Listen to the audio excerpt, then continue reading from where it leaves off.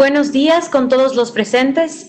Les damos la bienvenida a la socialización del acuerdo interinstitucional para expedir las directrices para el reconocimiento de la relación socio-trabajador de las asociaciones de la economía popular y solidaria. Saludamos a quienes nos acompañan el día de hoy. Andrés Ish, ministro del Trabajo. Andrés Briones, director general del Instituto Nacional de Economía Popular y Solidaria así como a las autoridades que nos acompañan, a los representantes de la economía popular y solidaria y a los medios de comunicación. Al final de este evento tendremos un espacio para solventar inquietudes que han sido levantadas por parte de las organizaciones. Solicitamos por favor a las personas que van a participar encender su cámara. Muchísimas gracias. En este momento les invitamos a ver el video explicativo del acuerdo interinstitucional para expedir las directrices para el reconocimiento de la relación socio-trabajador de las asociaciones de la economía popular y solidaria.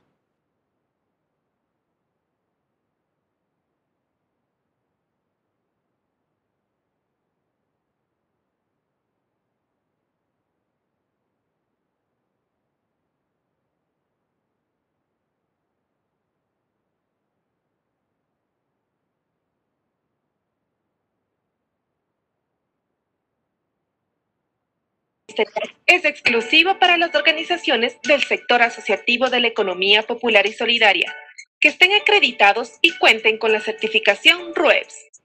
Así que pilas, esto permitirá generar fuentes de trabajo dignas, justas y solidarias, garantizando los derechos de los sociotrabajadores del Ecuador. Toda una vida. El gobierno de todos. Juntos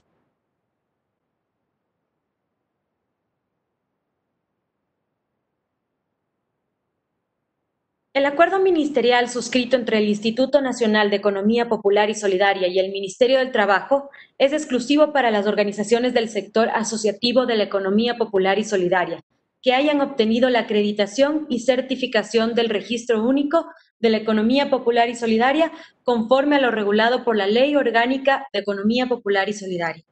Damos en este momento las palabras a Andrés Briones, director general del Instituto Nacional de la Economía Popular y Solidaria. Muchísimas gracias, señor ministro Andrés Hitch, eh, colaboradores, toda la economía popular y solidaria del país que nos está siguiendo en este momento a través de Zoom. Estar hoy y hablar de este reconocimiento es marcar un hito histórico porque desde la constitución del 2008, la ley eh, propia orgánica de economía popular y solidaria que se expidió en el 2011 y su respectivo reglamento en el 2012, si bien es cierto hablaban de desarrollar y definir una relación socio-trabajador ese derecho eh, y esos beneficios no se habían concretado hasta la fecha actual.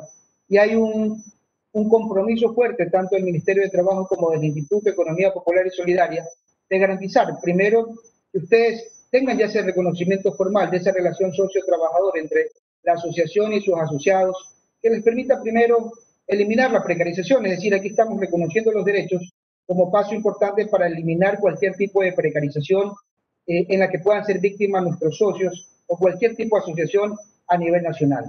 Como punto de partida es importante mencionar que quienes pueden ya beneficiarse de este acuerdo interministerial entre el IEPS y el Ministerio de Trabajo van a ser aquellas asociaciones que ya han sido certificadas y acreditadas a través del Registro Único de Actores de la Economía Popular y Solidaria, queridos compañeros. Es decir, que hay un trabajo en este momento muy fuerte en donde primero prima el reconocimiento y el trabajo para fortalecer los principios de la economía popular y solidaria en todas las asociaciones. Una vez que ustedes sean acreditadas, fortalecidas, vamos a seguir trabajando de la mano junto al MDT, al señor ministro Andrés Hitch, para que ustedes puedan acceder a través de este acuerdo, porque aquí estamos haciendo una conexión entre la economía popular y solidaria, nuestras 15.000 asociaciones y las diferentes modalidades contractuales que ustedes van a poder utilizar para poder garantizar ese acceso a la seguridad social que ha estado vetado, que ha estado restringido. Es decir, hemos sido una economía paralelas sin beneficios. Y ahora, gracias al acuerdo, estamos reconociendo esos beneficios, llevándolos y trasladándolos a ustedes.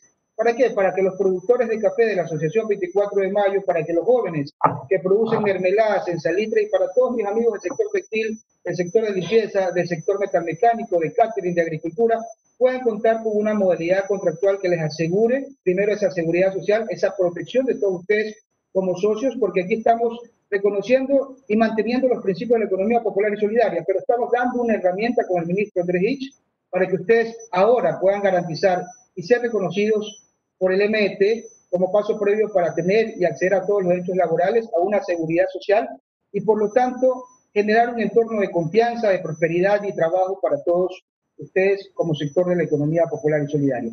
Esto ya es un puntal fundamental para todo el sector, para la economía popular y solidaria, porque se ha logrado algo que en los últimos 8 o 9 años no se había logrado, así como en su momento logramos junto a todos ustedes elevar y tener un sistema como Registro Único de Actores de la Economía Popular y Solidaria, donde trabajamos necesidades y gracias a ese RUC estamos focalizando los servicios y estamos logrando más productos de la economía popular y solidaria. Por ejemplo, acá tenemos cervezas artesanales, estamos trayendo de Manaví y logrando comercializar en todo el país.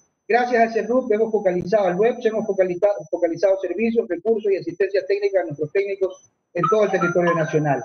Pero el camino todavía está, está, está ahí, hay que recorrerlo, hay que trabajarlo. Ahora tenemos un reconocimiento de la relación socio-trabajador Vamos, y en este momento estamos ya trabajando con la Seguridad Social para poder definir ya un régimen especial para todos ustedes, con garantías, beneficios y una relación especial para mi economía popular y solidaria, para que con esto, webs, reconocimiento de la relación socio-trabajador y la seguridad social, que en este momento ya es casi una realidad, ustedes puedan trabajar en un entorno apropiado, sin precariedad y con las condiciones justas y necesarias para poder progresar. Muchas gracias, queridos compañeros.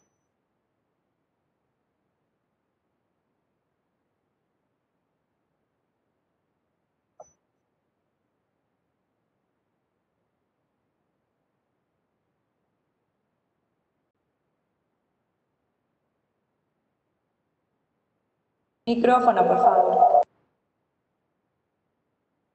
Agradecemos a Andrés Briones, director general del Instituto Nacional de Economía Popular.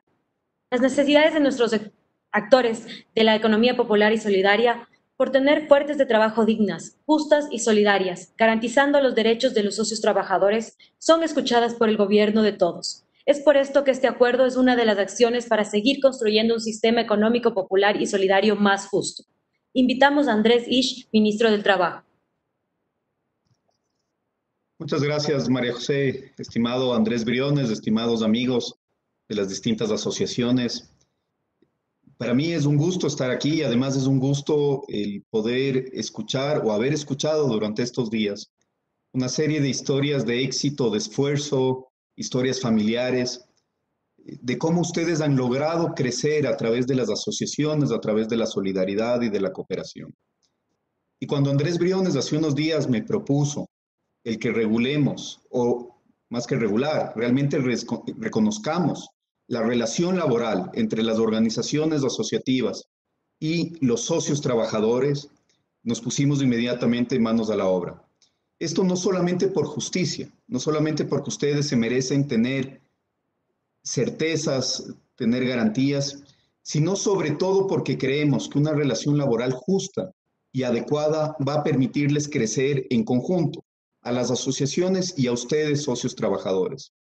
Cientos de miles de socios trabajadores, más de, más de 13 mil organizaciones eh, dentro, de, dentro de, de, este, de este ámbito van a ser beneficiadas con este acuerdo interministerial. Ustedes, ahora al tener un contrato formal de trabajo, no solamente que van a tener certezas, sino que van a tener más acceso a apoyo desde distintos lugares. La formalización ayuda primero a proteger a las personas, a garantizar remuneraciones justas, condiciones adecuadas de trabajo, condiciones adecuadas de salubridad y también, por otro lado, acceder, por ejemplo, de manera mucho más fácil a los mercados financieros, a créditos, a que sus hijos tengan una mejor condición de vida de las que ustedes han tenido. Para, para dimensionar un poco esto, hay algunos estudios que demuestran que cuando se formalizan relaciones de propiedad y relaciones de trabajo, la siguiente generación a la persona que se formaliza, es decir, los hijos de las personas que están ya formalizados, tienen en promedio el doble de ingresos que los padres. Es decir, aquí no solamente estamos generando oportunidades para ustedes, estamos sobre todo generando oportunidades para sus hijos, oportunidades para el mañana. Yo eh, dentro de esto, además, quisiera agradecer muchísimo las muestras de cariño que hemos recibido de varios miembros de la asociación. Eh, no sé si es que están puestos de acuerdo para intentar engordarme con todas las cosas que, que han llegado, pero cada uno de estos productos no solamente demuestran el esfuerzo, el trabajo, la calidad eh, que le han metido a todo ello, sino sobre todo creo que demuestran muchísimo amor. Varios de estos productos son realizados por familias, por generaciones eh, completas, abuelos, padres, hijos, que siguen trabajando por un futuro con más esperanza. Y quisiera eh, saber si es que está entre nosotros el día de hoy doña Tomasa Chimbolema o su esposo, José Valente. ¿Están aquí? Sí se encuentra, ministro. Miren, eh, solamente para contarles una historia rápida y creo que, se han puesto de acuerdo con mi esposa, porque en, unos pocos días vamos a celebrar aniversario de novios y nos han mandado un vino que están por exportar a, a Murcia, un vino de frambuesa, fresas y fresas cultivadas por ellos. Esta historia a mí me ha gustado especialmente porque no solamente que comenzó una primera generación con doña Tomasa, eh, con doña Tomasa y con don José, sino que sus hijos han seguido perfeccionando la producción y fabricación de estos productos. Su hija ya es ingeniera agrónoma, su nieta es ingeniera ambiental y todos en conjunto están trabajando por sacar este emprendimiento familiar adelante. Así es que, nuevamente, muchísimas gracias. Les agradezco la oportunidad de estar con ustedes, les agradezco la oportunidad de conocer sus historias. Esperemos que podamos conocernos pronto, que podamos estar eh, en persona dándonos un abrazo cuando pase este, este momento complicado y duro que estamos viviendo. Y sin duda, lo que ustedes están haciendo, el esfuerzo, la dedicación, el trabajo constante, responsable, nos da también muchísima esperanza de cara, al futuro. Así es que gracias nuevamente, estimado Andrés, gracias por tu preocupación por las asociaciones y por las personas vinculadas a la economía popular y solidaria. Esta es la primera de varias acciones que vamos a llevar adelante. Queremos avanzar de una forma muy profunda con capacitación, con apoyo desde el Ministerio del Trabajo, nuevamente para crear relaciones más justas, relaciones duraderas y donde todos tengan una oportunidad de crecer. Muchas gracias. Agradecemos la intervención del ministro del Trabajo, Andrés Ish. En esta socialización es importante conocer el sentir y las expectativas de los representantes del sector de la economía popular y solidaria, porque solo dialogando y escuchando construiremos una política pública útil.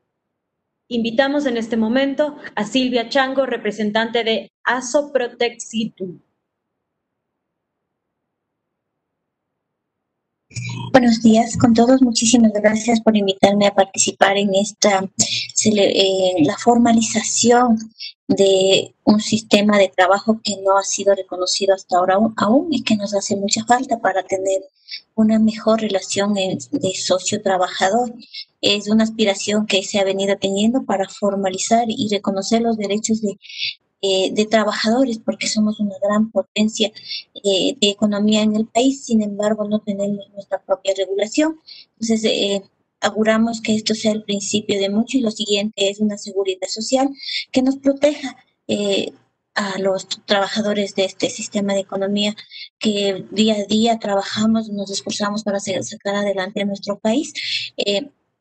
muy agradecida al, al ministro de, Trabajo por su compromiso, pero sobre todo agradeciendo al ingeniero Andrés Briones por su compromiso, por su pasión y por su cariño que demuestra con la economía popular y solidaria. Y le invito a que sigamos trabajando juntos para que más pronto, lo más pronto que se pueda, se formalice una seguridad social eh, que corresponde que reconozca nuestros derechos como actores de economía popular y solidaria. Muchísimas gracias.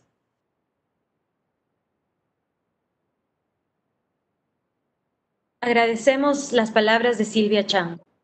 En este momento, seguiremos con las preguntas que fueron realizadas por las organizaciones para que puedan ser contestadas por nuestras autoridades. La primera pregunta es, ¿nos podrían indicar cuáles son las modalidades contractuales? La segunda pregunta es, con la firma de este acuerdo, ¿se va a identificar una nueva modalidad de seguro social para la economía popular y solidaria? Y la tercera pregunta es, ¿Este acuerdo deja a un lado los principios de la economía popular y solidaria? Damos la palabra a nuestras autoridades para responder las siguientes preguntas. Muchas gracias, María José. Antes de, pasar también con Andrés para que, termine y eh, responder las preguntas, eh, quiero englobarlas eh, de, manera, de manera general. Hay una serie de modalidades de trabajo que ustedes pueden aprovechar todas ellas modalidades formales y que tienen grandes eh, beneficios o ventajas en relación al tipo de actividad que ustedes, que ustedes desarrollan. Un poco lo que es importante entender es que las distintas modalidades lo que buscan o lo que deben buscar siempre es facilitar la creación de puestos de trabajo, facilitar el crecimiento de los emprendimientos. Por eso nosotros hemos arrancado un, un camino bastante rápido para eh, hacer un barrido de estas modalidades, corregir en donde se deba corregir y fortalecer las relaciones de trabajo a través de o el desarrollo de nuevas modalidades que no estaban contempladas todavía, o la corrección de aquellas modalidades que no estaban permitiendo la formalidad de las personas. Por ejemplo, acabamos de sacar una modalidad específica que es el contrato de obra o servicio determinado por giro del negocio, que básicamente lo que les va a permitir a ustedes es contratar alrededor de proyectos específicos.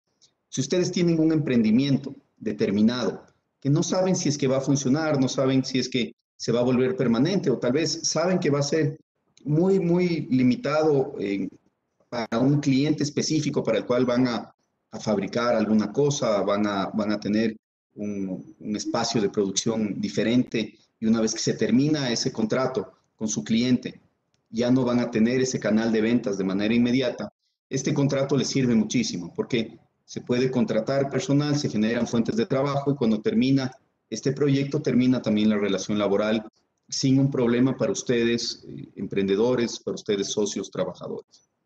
Y así en cada uno de los espacios vamos a corregir varias de las modalidades alrededor de los contratos agrícolas, de los contratos ganaderos. Esto también creo que va a ayudar mucho a generar plazas de trabajo formales. Y estamos en línea trabajando con otras instituciones públicas, entre esas del IES, para que los sistemas del IES empaten con estas normativas o estos cambios normativos que son tan importantes. Había una pregunta específica sobre si es que va a haber, un, um, va a haber una afiliación específica para eh, los contratos de los socios trabajadores. Yo creo que esa es una, es una conversación importante que debemos tenerla, no solamente alrededor de esto, sino en general, la posibilidad de tener distintas alternativas de, de afiliación con el IES. Y quiero aprovechar esta pregunta para hacerles una invitación. Nosotros lanzamos hace pocos días una invitación a un gran diálogo nacional por el trabajo. Lo que queremos es segmentar la conversación en tres mesas importantes. Una mesa que, establezca mejores mecanismos de garantía de derechos, una mesa que busque la generación de nuevos puestos de trabajo y una mesa que busque la generación de nuevas capacidades. Creo que ustedes tienen muchísimo que aportar y que enseñarnos dentro de estas conversaciones. No queremos que las conversaciones estén limitadas solamente a eh, los actores tradicionales eh, a las cámaras, a los sindicatos. Queremos que la conversación sea mucho más amplia. Queremos que estén ustedes como grandes creadores de plazas de trabajo y como trabajadores. Queremos que estén las personas que tienen en este momento un problema porque son desempleados o están subempleados. Queremos que, que estén los informales que necesitan esta protección que les da regresar al mercado formal de trabajo. Queremos que estén sobre todo mujeres. Aquí hay un espacio enorme de, brechas que tenemos que ir cerrando. En promedio, las mujeres trabajan menos horas a la semana que los hombres y ganan mucho menos que los hombres. Ahí hay que hacer inclusive un mea culpa como Estado. Nosotros hemos enrolado a menos mujeres que a hombres en puestos de trabajo. Así es que hay muchísimo por trabajar, hay, hay, muchísimo por hacer. Los jóvenes también tienen que tener un espacio en esta mesa. Y al final de, esta, de este conversatorio les van a pedir eh, y, les, y quisiera que nos ayuden con eso, les van a pedir que llenen una encuesta porque quisiéramos estar en contacto para este gran acuerdo por el trabajo que tenemos que llevar adelante. Así es que eso de manera general le doy la, la palabra a Andrés para que pueda pueda terminar de responder las preguntas, pero la invitación está hecha.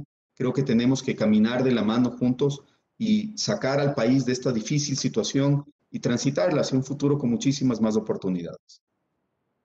Gracias, Andrés. Muchas gracias por, por tu explicación y también por la invitación a, la economía popular y solidaria. Claro que sí, desde el Instituto nosotros vamos a apoyar y vamos a promover entre nuestros socios a nivel nacional eh, su participación en este gran diálogo nacional por el trabajo, que en este momento es importante, porque lo laboral está atado a la reactivación económica que en este momento se está promoviendo y desarrollando en el país y que tú, Andrés, de la cartera de trabajo, de manera activa y con mucho compromiso estás, estás fortaleciendo. Así que el sector de la economía popular y solidaria va a participar y va a aportar con ideas y contingentes en esta mesa de gran diálogo nacional.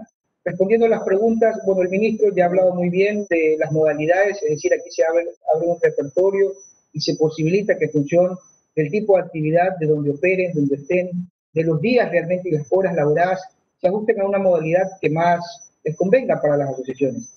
Y esto les permite el acceso directo a que sean reconocidos los derechos laborales, la seguridad social y evitar cualquier tipo de precarización. Es decir, que todos ganamos, todos sumamos. Ahora, la pregunta que nos ha repetido en las socializaciones que hemos realizado es si se pierde con esta firma los principios o el reconocimiento de los principios de la economía popular y solidaria. La respuesta es no. ¿Por? Porque los principios son adherentes, son parte, es parte de la filosofía y de los modelos de gestión asociativos en todo el país, los principios se sustentan en la ley orgánica de la economía popular y solidaria. Lo que estamos ahora firmando con el señor ministro es una herramienta, una herramienta jurídica que va a facilitar y reconocer la relación socio-trabajador que es uno de los temas pendientes desde la constitución de Montecristi, que ahora la estamos viabilizando a través de este acuerdo para que ustedes accedan a todo este ambiente normativo ya, ya definido en el Código Laboral. Así que no se pierde, sino más bien se fortalece, se fortalece y se sigue trabajando con la economía popular y solidaria de todo el país. Eh, la segunda pregunta que hacían sobre las modalidades del seguro, en los recorridos que hemos venido realizando, una de las principales preocupaciones que hemos tenido como instituto ya en estos 10 meses de gestión es la falta de seguridad social. Cuando hemos hablado con los representantes legales, con los propios socios, y el principal pedido, fuera de la asistencia técnica que hemos venido desarrollando, ha sido la seguridad social.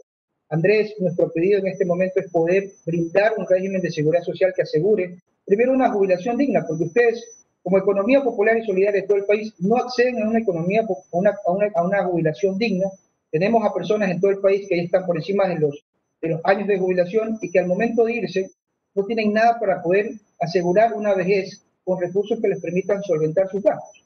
Este acuerdo interinstitucional firmado con el ministro eh, Ich ya abre la posibilidad, compañeros, abre la posibilidad para que todos los socios, para que todos los socios del país, de estas 15.000 asociaciones, de estas 460.000 personas, con este acuerdo ya tengan una puerta una vía de acceso libre para garantizar ese reconocimiento a la seguridad social que lo vamos también a trabajar junto a todos ustedes, así como hemos trabajado este acuerdo interinstitucional con ustedes y ahora lo hemos cerrado con el Ministerio de Trabajo, vamos a convocar una mesa de trabajo para definir, ya con esto firmado, el siguiente paso que sería ya establecer un régimen de seguridad social especial para todos ustedes y con esto, garantizar el reconocimiento de sus derechos laborales y segundo, una jubilación digna para todos ustedes que generan producción, empleo todos los días en el Ecuador. Así que compañeros, los invito, los invito a seguir trabajando de manera cooperada, conjunta, a seguir trazando y cumpliendo hitos. Hemos venido ya cumpliendo hitos significativos para todos ustedes y cerremos, cerremos esta administración, cerremos, cerremos este año con la firma con el Seguro Social donde ya garanticemos ese régimen que tan necesitado está por todos ustedes. Que muchas gracias y el trabajo y compromiso siempre de mi parte. Muchísimas gracias. Tenemos una pregunta por parte de Sayonara Tuapanta, representante legal de ASO Salud, dedicado al servicio de catering en Guaranda. Su pregunta es, ¿la afiliación afecta la vulnerabilidad de las asociaciones y cómo afecta esto a los socios que reciben el bono del MIES? Estimada Sayonara, todo lo contrario. Aquí creo que es importante hacer una explicación. La relación laboral nace de básicamente tres elementos, que es una, una subordinación entre el trabajador a su empleador, una remuneración y un horario. Si es que hay esos elementos, es indistinto que exista o no exista el contrato. Por lo tanto, la falta de formalización de la relación con un contrato lo que hace es dejar a las partes una, eh, más bien ahí en una situación de vulnerabilidad, con muchísimas incertidumbres, con el riesgo de que existan, eh, por un lado, multas o sanciones, por otro lado, incumplimiento de derechos o, o algún tipo de precarización. La formalidad es el mejor camino para proteger tanto a los trabajadores como al empleador. Ahora, tu pregunta es muy importante por lo siguiente porque creo que demuestra una cosa que en nuestro país ha fallado durante mucho tiempo. ¿Cómo hacemos que la formalidad sea más interesante, más atractiva que la informalidad? Si es que llenamos de requisitos imposibles de cumplir, si llenamos de una serie de obstáculos a las normas, si es que volvemos a los contratos eh, inaplicables o volvemos a, a los contratos inaccesibles para los emprendedores, para los trabajadores, vamos a terminar con muchísimas relaciones informales y con estos riesgos. Nuestro deber es racionalizar la normativa, hacer que la normativa realmente trabaje en favor de los ciudadanos y no los ciudadanos trabajen para cumplir con las leyes. Y además necesitamos que las instituciones se sigan reformando, se sigan simplificando, sigan quitando estos espacios de discreción que muchas veces afectan a los ciudadanos y a los trabajadores. Creo que es una discusión necesaria, válida, de hasta dónde llegamos con las regulaciones y dónde esas regulaciones ya crean más problemas de los que ayudan a resolver. Así es que, tal como lo decía Andrés hace un momento, estas conversaciones, por ejemplo, con el, con el IES, que hagan que la afiliación al IES no se vea como una carga, sino realmente como, una, como lo que debe ser, como una protección, son muy importantes. Con respecto al bono, que también había, er, era parte de la pregunta, esto no afecta al, bono del MIES. Eh, el, el, MIES tiene distintos bonos que tienen distintas finalidades y distintas condiciones para acceder a ellos. Mientras se cumpla con las condiciones del bono, el bono se va a mantener. Hay un trabajo muy fuerte en este momento para mejorar el registro social, porque hay personas que deben tener esta protección de transferencias directas del Estado, que están demostradas que sirven mucho, por ejemplo, para incentivar el que los niños permanezcan en la escuela. Y esa mejora del registro social nos va a permitir incluir algunas personas que se habían quedado fuera.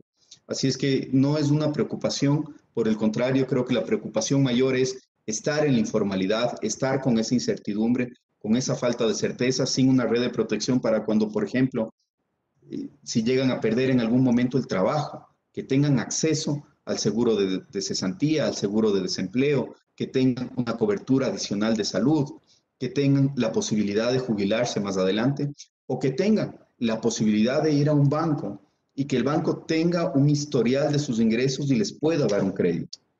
Hay una serie de ventajas con la formalidad que tenemos que, que visibilizar y tenemos que nuevamente empatar con esta facilidad tanto para generar relaciones de trabajo formales como con la facilidad para emprender de la manera más adecuada.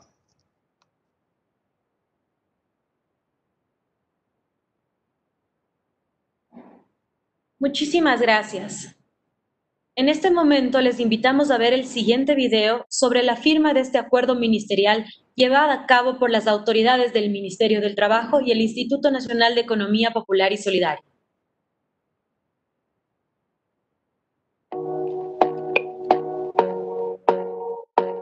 firmar este acuerdo interinstitucional es un paso significativo en la histórica eh, lucha y trabajo de la economía popular y solidaria porque representa establecer algo pendiente que gracias a la gestión de usted, ministro, y el presidente de la República estamos dotando ya de un marco laboral de la economía popular y solidaria. ¿Y esto en qué se traduce? Primero, en normar la relación socio-trabajador y segundo, evitar la precarización laboral. Y con este instrumento estamos dando paso a que las economías populares y solidarias del país, que son más de 15.000 asociaciones y que generan empleo para más de 460.000 personas, puedan tener el acceso a cualquier modalidad de trabajo en función de su actividad, del, del tipo de trabajo, directo adicional que ejecuten el proyecto. Así que estamos garantizando derechos laborales, estamos garantizando acceso al trabajo, estamos generando empleo porque es una fuente que permite formalizar el empleo y por lo tanto canalizar y avanzar también hacia el establecimiento de un marco normatorio que facilite, que transparente, que fomente el trabajo en Este convenio interinstitucional lo que nos ayuda en este caso es a que las condiciones de trabajo del socio es a la vez trabajador una asociación cooperativa sean las adecuadas. Esas personas emprendedoras que han arriesgarse para estar en una asociación y buscar un mejor futuro, no van a perder la calidad de socio, van a mantener la calidad de socio y de trabajador simultáneamente. Queremos invitarles a esas personas. En primer lugar, a comenzar los registros de los contratos de trabajo, algo que será beneficioso para la asociación y para el socio trabajador. Y en segundo lugar, queremos invitarles a sumarse en este gran esfuerzo por construir un puente entre un momento complejo como el que estamos viviendo y un futuro con muchas más oportunidades y mucha más esperanza. Para el Ministerio del Trabajo hace norte en cada una de las gestiones que realizamos, y es encontrar relaciones laborales justas, equitativas y que garanticen derechos.